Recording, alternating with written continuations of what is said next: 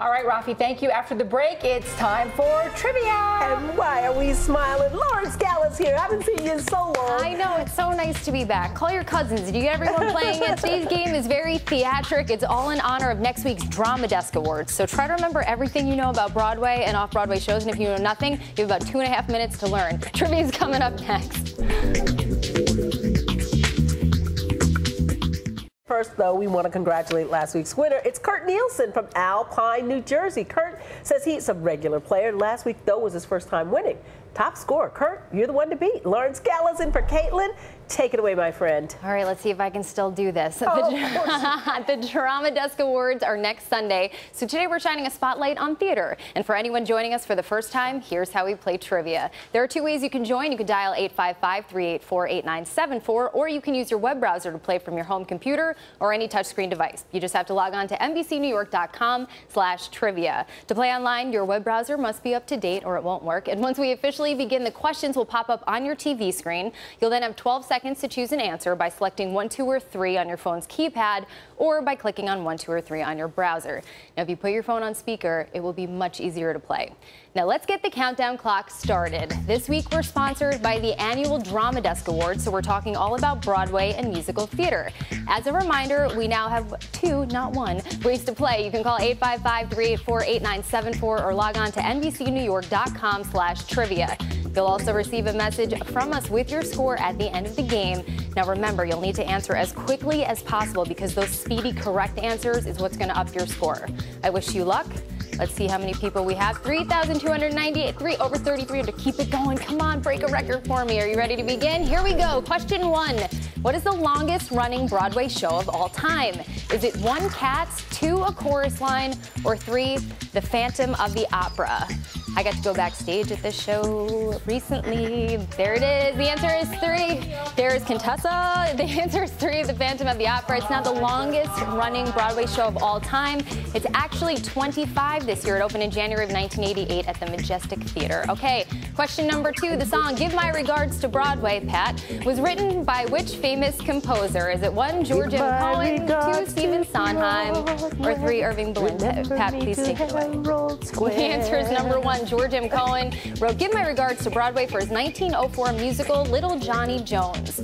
You've probably heard it in the musical about his life too, Yankee Doodle Dandy. All right, question number three. The award ceremony pits Broadway, off-Broadway, and off-off-Broadway productions against each other. It's actually uh, the only award ceremony that does this. Is it the Tony Awards, the Drama Desk Awards, or the Grammy Awards? That's a hint already? Oh, maybe we've said it seven times. The answer is number two, the Drama Desk Awards. It's, they're in their 58th year. They're actually taking place next Sunday, May 19th. And guess what? You can go. They actually sell tickets to the public for this, so you can buy it on their website. Question number four, Matilda is currently on Broadway. I saw it. It's so good. Which of the following actors did not star in the 1996 film? Excuse me. Was it one, Rhea Perlman, two, Danny DeVito, or three, Joe Pesci? Oh, the answer is three, Joe Pesci. Matilda, the musical, is among the seven productions up for Outstanding Musical at this year's Drama Desk Awards. In fact, I think it's actually nominated for seven Drama Desk Awards in total. So great show. Get out and see it if you can. Question number five. Broadway Joe was the nickname of what beloved pro New York athlete? Is it Joe DiMaggio, number two, Joe Namath, or three, Joe Girardi? for all the guys out there that don't know a thing about Broadway, you better get this one right. Question, uh, the answer is number two. Hall of Fame quarterback Joe Namath was nicknamed Broadway Joe while playing for the New York Jets in the 1960s and 1970s. Moving along, question number six. The smash hit musical comedy was written by Trey Parker and Matt Stone, co-creators of the animated series of South Park. I love that. Number one, is it Spamalot? Two, The Comedy of Errors? Or three, The Book of Mormon? The answer is number three, The Book of Mormon. South, South Park co-creators Trey Parker and Matt Stone wrote the lyrics and music to The Book of Mormon, which won nine Tony Awards and a Grammy Award for Best Musical Theater Album. And there's always a crowd out front still. I walk past it every day. Question seven, the show Mamma Mia is based around the music of what 1970s pop group? The Carpenters, REO Speedwagon, or ABBA? Mamma Mia plays over at the Winter Garden Theater. It's been there since 2001. And yes, it is ABBA, number three. It's a, ABBA was a quirky Swedish pop group that became wildly popular in the 1970s with songs like Dancing Queen and Fernando. We'll let them take it away. There you go. Question eight. Lullaby of Broadway. I love this question. Was famously used in an 80s TV ad for which hotel? Was it the Waldorf, the Milford Plaza, or the Essex House? You know you're singing this in your head around. The answer is Milford Plaza. You remember that commercial?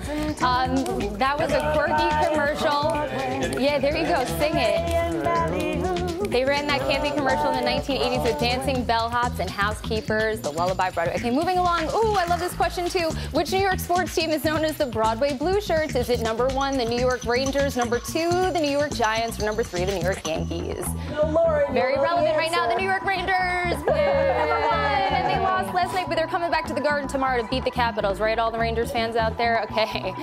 We know I love them. We're going to move along to question number 10. Which production was not based on the music of Rodgers and Hammerstein? Is it number one, Oklahoma, number two, Carousel, or number three, West Side Story? Currently, Cinderella on Broadway is Rodgers and Hammerstein, but West Side Story was not. The story was written by Leonard Bernstein and Stephen Sondheim. Oklahoma Carousel and many, many other major hits were based on music by Rodgers and Hammerstein, often considered the greatest songwriting duo of the 20th century, just like Pat and Contessa, the greatest weekend today in New York anchoring duo of this century. Uh, congratulations to our top 10. Here's a web winner. That means you got to fill out the information, and send it back. We have good scores today. Very good.